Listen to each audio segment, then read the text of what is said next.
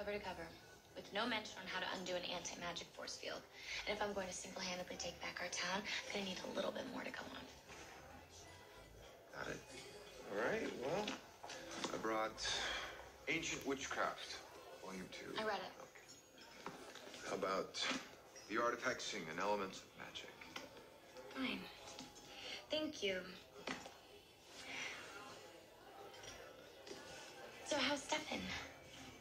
Okay. How often do you talk to him? I don't know, a couple times a week. Oh. Huh.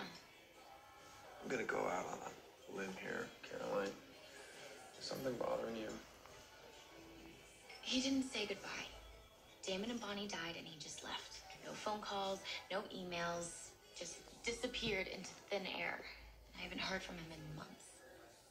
I actually convinced myself that he was in some remote mountain region and couldn't accept my calls. Or maybe he just doesn't want to bother you with every half lead that goes nowhere.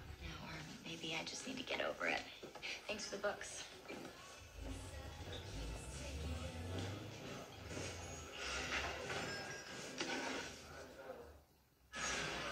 Why isn't Jeremy answering his phone?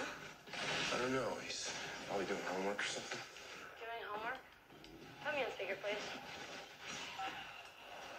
Jeremy, I know you can hear me. Get your butt off that couch and do something productive.